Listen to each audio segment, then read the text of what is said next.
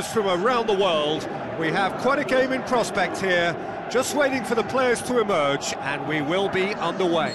This is Peter Drury, and next to me, providing insights, will be Jim Beglin. Hi Peter, it's great to be here. So Jim, who would you identify as the key man in this fixture? Uh, it's got to be the very flexible Raheem Sterling. Uh, from centre forward to wing back, he can play a variety of roles, and usually with the knack of finding a yard of space. For me, though, he's most dangerous in attack. Not to disagree with that. It is the sort of situation he thrives in.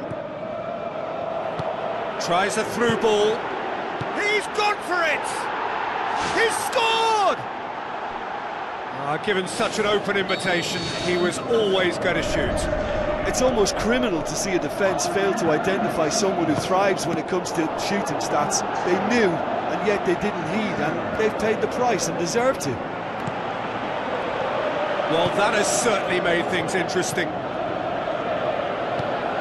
Laporte.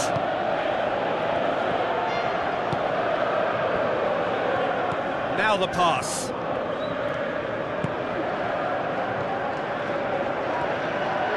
Driving on now, what can they conjure from here?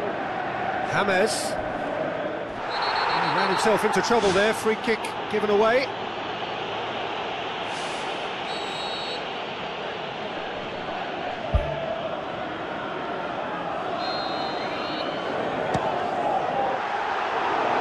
Was mighty close.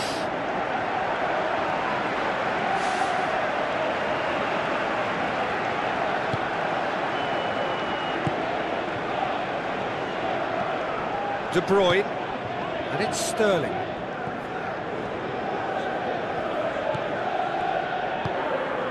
Ake. Who's going to make this theirs? Passes it through. Ake does well there. Alert. Aguero with a long pass out wide.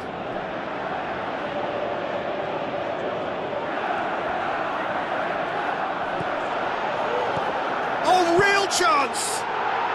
Fantastic! That is classic Kun Aguero! All too easy. They are in danger of disappearing out of sight. And then... That's surely a foul free kick.